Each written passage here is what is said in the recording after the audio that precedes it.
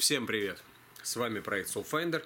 И сегодня у нас в студии супер редкий гость. Это бренд New Balance. И это не какие-нибудь полторашки, беговые или еще что-то. Это интересные кроссы, но самое главное, что это самая удобная коробка с кроссовками в мире.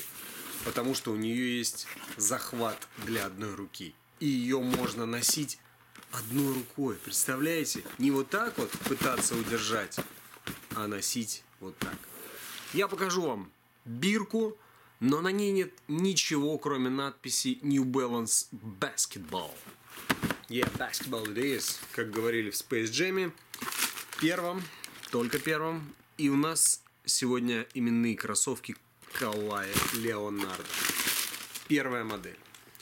Мы рассказывали вам про Омнисы, первые New Balance после 20-летнего воздержания. И вот сейчас так эксклюзивненько на нашем канале, впервые в России, New Balance. Кавай 1.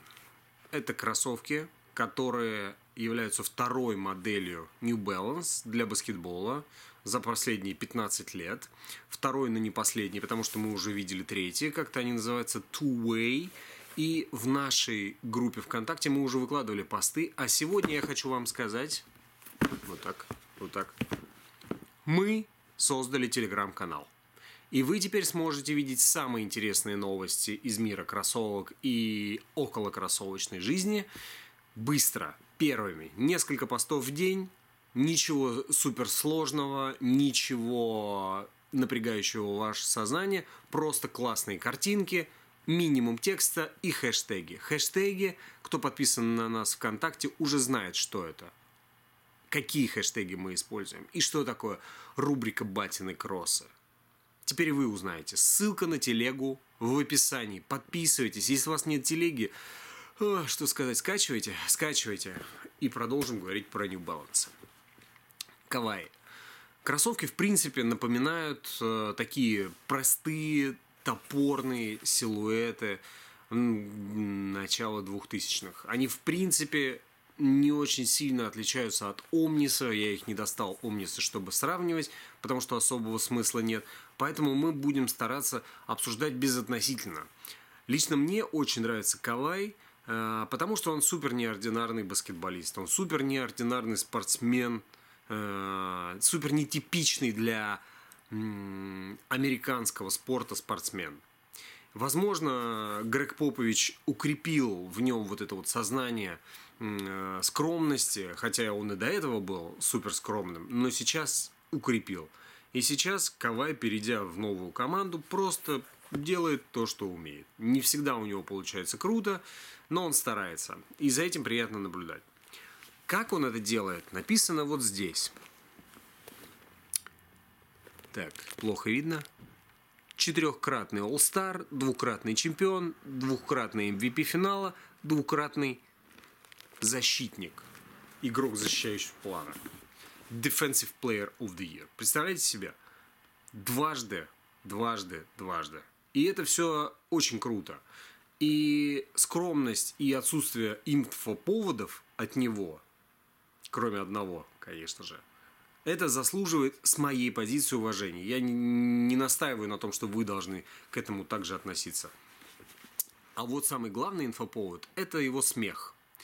Сюда спроектирована волна, так говорят во всяком случае, как Кавай смеялся на интервью. Это он смеялся один раз в жизни, после этого ему стало плохо, и он решил больше никогда не смеяться. Но тот самый смех Кавая – это, конечно, супер бомба. И они решили вот эту звуковую волну пустить на первой расцветке именной Кавай. И вот как это выглядит. Мы видим здесь термальную карту, Weatherman КД вспоминается, термальная карта со всех сторон и на подошве. Ну, это не ново в кроссовках. А сейчас мы поговорим об этих кроссах более детально с точки зрения материалов. Я их покручу, поверчу, попробую согнуть. И может быть вы узнаете что-то новое. Хотя по этим кроссам большую часть, конечно, видно. Потому что они выполнены из синтетического материала. Очень много слоев. Здесь у нас белая вот эта штука. Это все сетка Engineered Mesh. У меня после короны э, гнусавость появилась, и я еще больше гундошу на канале, чем обычно. Так что сорян, но последствия короны, говорят, могут до двух месяцев уходить.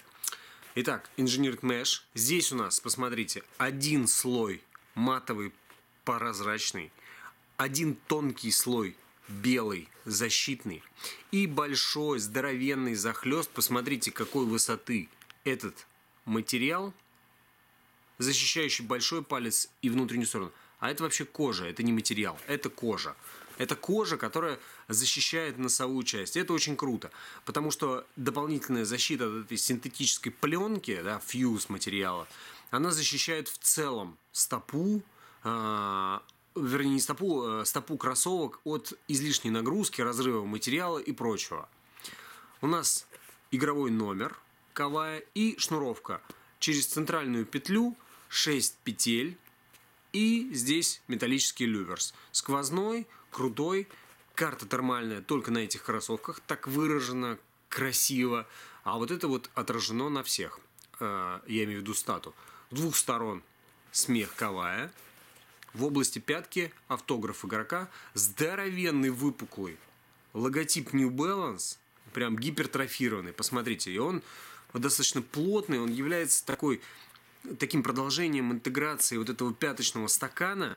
Пяточный стакан очень жесткий, выступает достаточно высоко, и, в принципе, он поддерживает стопу. Кроссы не моего размера, но я видел обзорчики заокеанские какие-то, несколько азиатских, и ребята, которым я доверяю, говорят, что это так. И вот эта фиксация, фиксация и жесткость этого стакана, посмотрите, обычно, когда я нажимаю на каких-нибудь LeBron Witness – это все проминается. Здесь такого нет. Это действительно реальный жесткий пластик. Жесткий пластик и вот этот пластик э, с выступом New Balance просто цементирует это осознание. Что в подошве? В подошве нам говорят fuel cell, то есть энергетические ячейки у нас есть внутри. У нас вертикальные вот эти линии, создают великолепный звук, примерно как Кавай посмеялся сейчас.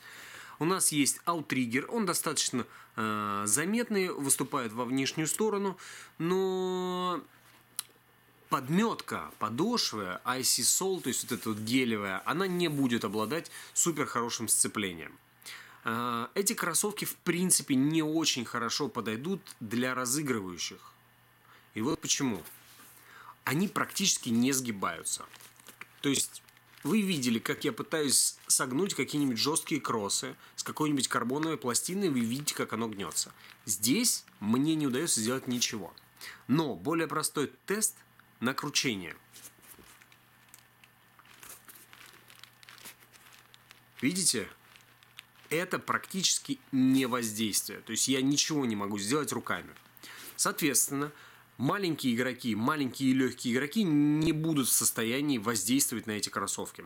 У них достаточно толстый слой пены, вот эти вот э, энергетические ячейки для типа амортизации, плюс Icy Soul, которая сама по себе не очень гриповая, а лучше Solid, то есть э, просто резиновая. Резиновая просто встречается, но на других расцветках. Поэтому сцепление здесь не Ice, не Ice, и выполнено оно, опять же, вот в виде таких таких каких-то, не знаю, рек. Рек на этой термальной карте. Это сделано для Кавая. Ему сцепление не так нужно. Первое, потому что он не супер шустрый игрок. Второе, потому что НБАшный паркет всегда чистый. Итак, второй башмак. Предварительно расшнурованный, расшнурованный. Сейчас я покажу, что внутри. Это достаточно интересно. Значит, расшнурованный. А, имя игрока. Калхи. И что мы здесь видим? Это сапожок. Это вообще конструкция цельная. То есть вы можете благодаря вот этим вот разрезам и углублениям попасть вовнутрь. Благо это вот не цельный сапожок. Но тем не менее, это сапожок, у которого нет отходящего язычка, за исключением вот этого маленького аппендикса здесь. И внутри мы можем видеть много чего интересного. Во-первых, селька. Ее я даже достану. покажу вот так более красиво. Я покажу вам Ortolite. Я покажу вам размерную сетку New Balance, которая здесь изображена. Стелька мне понравилась. Она достаточно плотная, она имеет выступ под свод стопы, поэтому она будет выполнять свою функцию.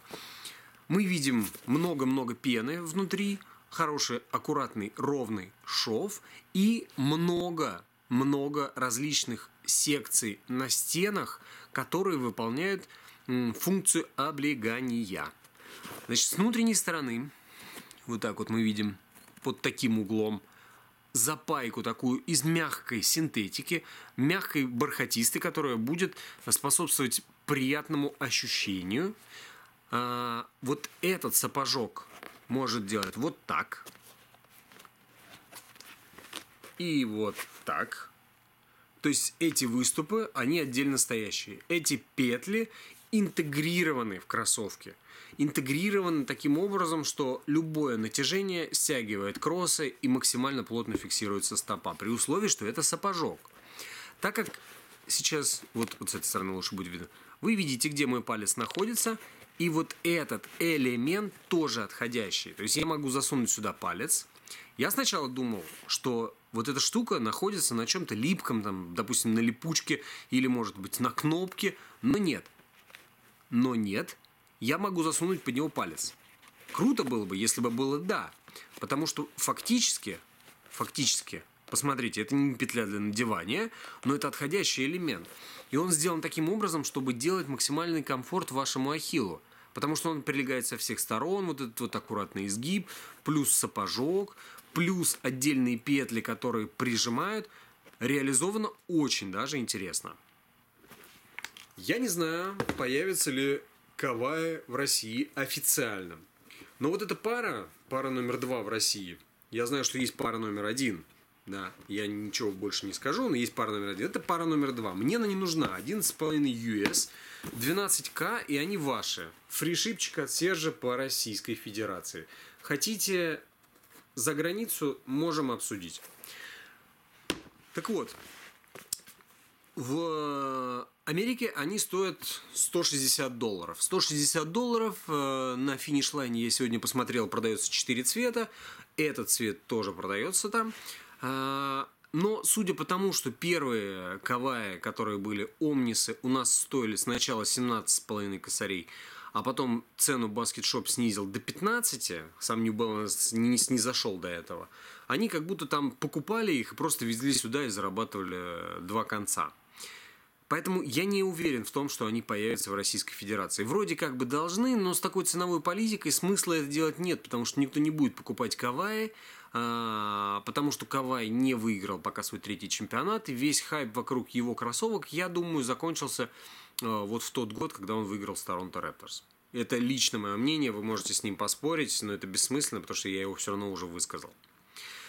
Поэтому для New Balance как таковой шаг в Российской Федерации важен с точки зрения цены, который делает Puma, который делает Converse, который делает делала Анта, Анта уже завоевала свои позиции, а New Balance нет. И New Balance в баскете, ну пока это нонсенс с такими ценами. Поэтому я не уверен, что они появятся в Российской Федерации, поэтому ссылок ни на какие New Balance я вам дать не могу. У меня есть первые Омнисы 12 размера, эти у меня есть 11,5, так что если кому-то надо, welcome. Мне они не нужны, я их продам за что взял. Практически. Друзья, с вами был Серж. Обязательно подписывайтесь на наш телеграм-канал, потому что вы хотите не только смотреть видео наши, но и получать самые свежие оперативные новости из мира кроссовок тоже от Soulfinder. С вами был Серж, до новых встреч.